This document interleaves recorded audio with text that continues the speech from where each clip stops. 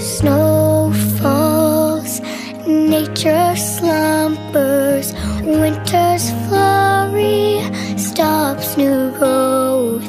December brings the season filled with laughter and new hope. Kindness abounds, good deeds seem to thrive.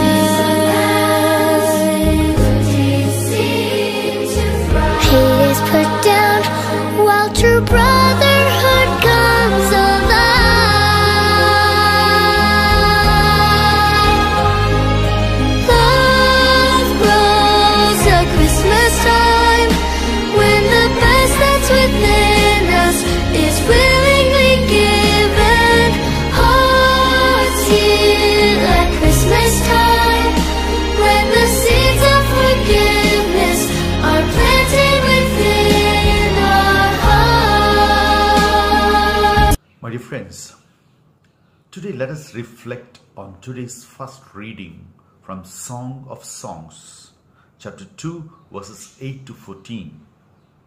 The love song is the first lesson today, is one of the many in the Bible which has traditionally been understood as symbolic of the love between God and his people.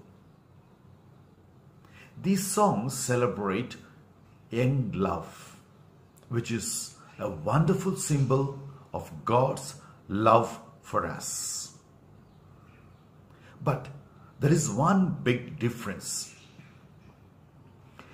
Young love is time, as time passes, tends to weaken with familiarity. Not so with God's love. God's love is constant, it is unchanging and always faithful. Young love is also a symbol of our love for God. It is often said that love is blind. But the truth is that's not true.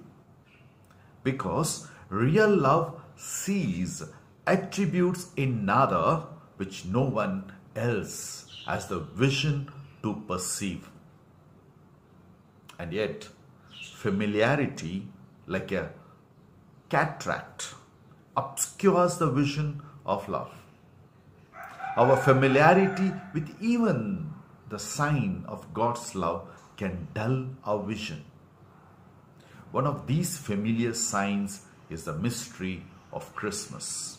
God so loved the world that he, in the fullness of time, sent his only Son to be our Savior.